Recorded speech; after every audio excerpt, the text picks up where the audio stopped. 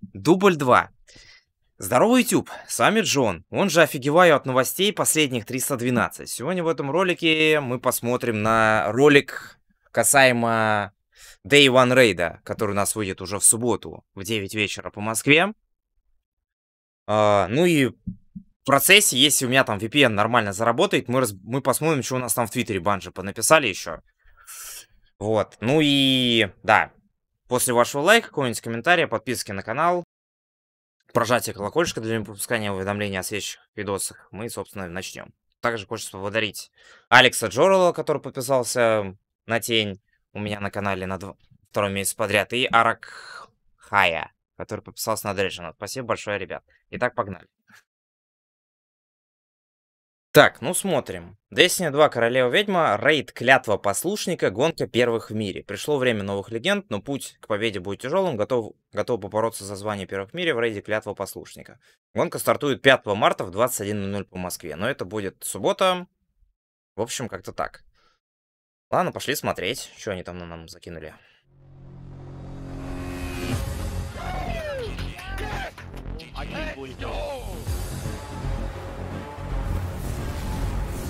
Гонка названия первых в мире вот-вот начнется. Угу. Прикольненько. Победит лишь одна команда.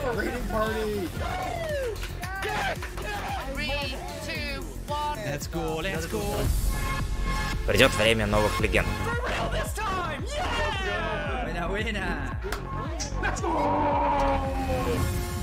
Многие стражи погибнут. Вайпнуться точнее.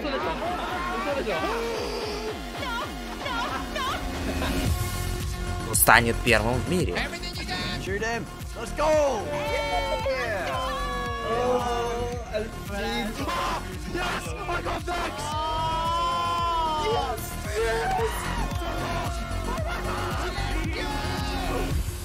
Ну, естественно, в самом ролике они показали только начало рейда. Естественно, весь рейд нам никто показывать не будет. Нам показывали реакции со всех предыдущих... Э, со всех э, предыдущих рейдов.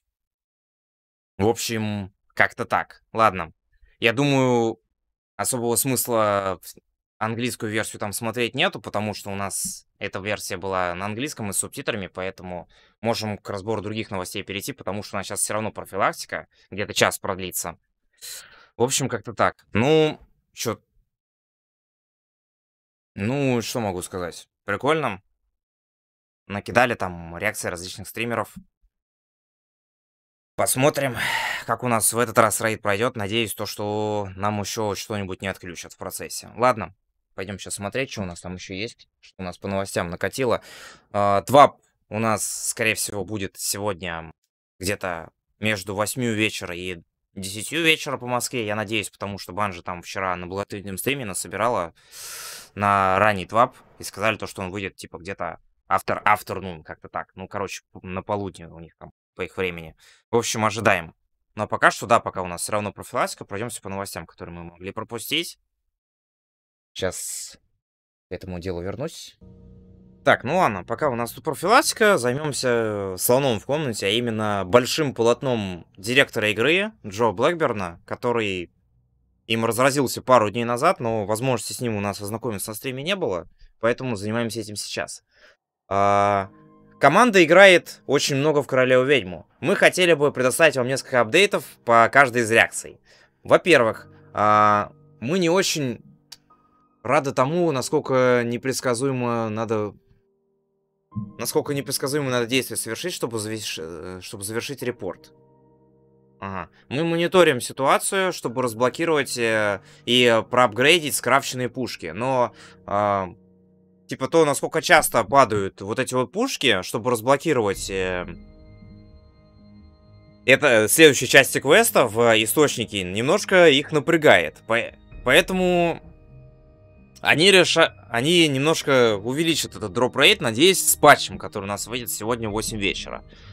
А, в патче, который, да, вот у нас таргетируется на следующей неделе, мы будем увеличивать drop rate для пушек в источнике. И добавим их, э, так сказать, защиту от плохой удачи, чтобы у людей было больше шансов э, достать вот э, резона... резонансную версию своей пушки.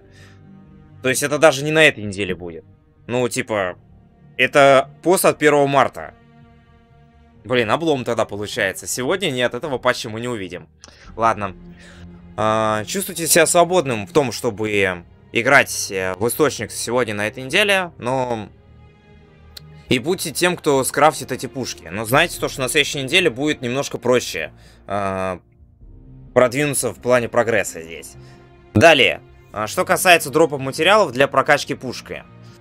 А, ну, они находятся немного не там, где бы мы хотели, чтобы они были. Так что в этот четверг мы собираемся выкатить несколько фиксов для Асценданта Лоев, чтобы они были, ну, более предсказуемыми в плане дропа в высокоуровневых активностях. То есть это у нас уже будет сегодня. Ну, материалы для кача будет проще доставать. С этим патчем, который таргетируется в этот четверг, у нас будут э, больше шансов на то, чтобы получить э, Асцендант Алои не только э, в, не только на сложных активностях, но и также во всяких там э, платиновых, э, золотых и серебряных завершениях, ну, на уровне. Типа, если вы там не всех воителей убьете и так далее. Это будет означать более высокие шансы получения там э, всех этих э, материалов за золото и за платину. Но мы также продолжим, ну, банж в смысле, продолжит мониторить э, дроп-рейты по мере прогресса сезона. Так, читаем дальше. А, и последнее, мы мониторим а, геймплейные элементы песочницы, как, ну, по мере продвижения до гор гонки в мире на, собственно, на рейде, который выйдет у нас в эту субботу. И мы следим за взаимодействиями, которые касаются там всяких э, синтоципсов и э, глев, которые также могут э, сопрессить, ну, подавлять противников и их интерация может быть немножко проблематичной. Ожидайте больше информации э, в Твабе, который выйдет у нас сегодня, по поводу того, чтобы... Ну, по поводу тех действий, которые Банжи предпримет для того, чтобы сделать э, гонку за первое место в мире немножко честнее, по их мнению. И в целом, э, Банжи э, рада тем, что ну, тому, что Королева Ведьма запустилась более-менее стабильно. Ну, по крайней мере, меня в игру пустило через час. Ну, могло пустить через 6 часов, как это было в «За гранью света». Спасибо, ладно. Надеюсь, э, с э, багами, с FPS-ами разберетесь тоже, да, Банжи? Ожидаем. И теперь они, ну, смотрят на такие вещи, как пустота 3.0, э, оружейный крафт и то, как это отражается в целом на игре. Угу. Ну, короче, да, опять говорит про сезон, про рейд, про оставшуюся часть сезона. Ну, в общем, мир, дружба, жвачка. Идем дальше. Так, сейчас быстренько пройдемся по банжи хелпу.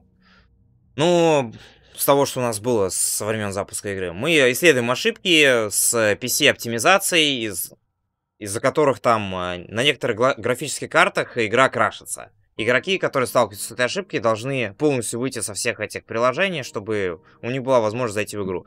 Про седьмую винду там банжи вроде тоже что-то писали. То, что они типа разбираются. Но если есть возможность, мне кажется, лучше уже перейти на десятую. Им пора уже без поддержки седьмую винду убрать. Ну, то есть она до сих пор есть в этом, в описании э, приложений. Из-за этого, ну, на это многие опираются. Типа, то, что у них при запуске черный экран возникает. Ну, работает, как я понял. Дальше. Банжи исследует проблему, при которой у некоторых игроков на PlayStation может закрашиться игра, когда у них включен HDR. Я, кстати, помню, когда вот мы играли с братюней, там, с Димой Ликсом, да, а, у него там тоже при включении HDR было какое-то непонятное пятно на экране. Так, дальше у них тут вода-вода. Вот что касается повторяемых контрактов э, в этом... в шлеме, есть такая проблема, не берите их. Они, занима... Они эм, добавляют невидимые слоты вам в э, инвентарь. Из-за этого меньше места становится для, для бра... взятия новых контрактов. Поэтому будьте бдительны. Не берите повторяемые контракты на шлеме. Дальше что у нас тут идет? М -м ну, здесь по поводу брони 15-20 у Икоры. Так, обновление по поводу повторяемых контрактов. Мы просто начали в хронологическом порядке с 22 числа. Банжи поправили эту тему 26 -го. То есть можно теперь спокойно брать повторяемые контракты, они больше не, не становятся невидимыми в вашем инвентаре. Дальше смотрим, что они тут еще написали. Так, ну по поводу 30 ранга и фарма сундуков, я думаю, все уже слышали, да, то, что Банжи там отрезали выпадение материалов после его достижения. Что у нас дальше идет? То, что они там все операции эти понизили уровень сложности с 15.00 до 14.00, это понятно. Экзотическое украшение, доступное для мертвого посланника, появляется в игре раньше, чем планировалось. Да, вот игроки, тоже вот э, очень насущная тема. Игроки, у которых э, 2000 вот этих псионических материалов находится в инвентаре, они не могут выполнять нормально квесты Эльбруса, поэтому надо их либо удалять, либо открывать сундуки, чтобы, ну, все этих операциях, чтобы было проще продвигаться по миссии. Про эту тему многие не знают, потому что еще вчера, по-моему, меня народ спрашивал. Так, дальше следующая новость. Мы исследуем ошибку, при которой э, ветеранские игроки могли некорректно получать квесты на, ну, на подклассы, который, и которые нельзя удалить. Ничего себе. Мы также решили ошибку, которая не мешала титанам и охотникам получать квесты на то, чтобы разблокировать электрические или солнечные подклассы. Те игроки, которые не смогли их до этого получить, ну, возвращ... получают их, когда возвращаются на орбиту. Так, дальше что у нас? Мы исследуем ошибку, при которой ав... пистолет-пулемет оставил стрига, точнее, катализатор на нее, немножко дороже стоило, чем это планировалось. Игроки, которые пытаются трансформировать Стригу, должны снова забрать катализатор в процессе перека перекачки. Помнится, у меня даже кто-то там постил видос на эту тему. Так, из-за ошибки банжи выключили перк э, улучшенный датчик пульса, пушки, которые используют этот перк, э, будут функционировать как обычная пушка с э, датчиком пульса, пока они это не поправят. Дальше. А, Из-за ошибки, которые заставляют несколько экзотов осуществлять больше урона, чем планировалось, банжи решили выключить э, улучшенный перк э, «Двойной удар». Пушки, которые утилизируют этот э, этот перк будет функционировать как обычные э, дробовики с двойным ударом, прежде чем они будут включены 10 марта снова. Ну, решили Day One Raid таким образом не портить. Чтобы быть по этой теме четкими, команда решила проверить, как это все дело будет стакаться с другими экзотическими перками, ну, чтобы народ этот, эту тему не обузил. Как-то так. Так, далее. А, команда смотрит э, на фидбэк касаемо Гамбита, то есть по поводу тяжелого вооружения, по поводу использования пушек. Привет, Галахорн, скорее всего. Команда смотрит на то, насколько часто народ инвейдит, ну, вторгается. Че, серьезно? Народ до сих пор, когда у них у всей команды есть голохорны, которыми они тебя встречают, э, которыми они тебя встречают там полетами тебе в лицо, они еще до сих пор жалуются на количество инвейдов. Команда смотрит на фазы первобытника, на его здоровье и на то, как он хилится. Ну, восстанавливает себе здоровье, собственно. Дальше. А, как многие из вас знают, есть еще куча мощных наград, которые падают со склепа голого камня. Не ожидалось, что так будет, и это будет поправлено. Э, после того, как закончится гонка за первое место в мире. Вы можете использовать этот источник для того, чтобы добывать э, дополнительно мощные награды. Как-то так. Ну, я думаю, все уже воспользовались, кому надо было. Но если вдруг такие есть, кому еще надо, то залетайте. Ну и далее у нас тут э, касаемо Тваба новости. То есть ждем... А...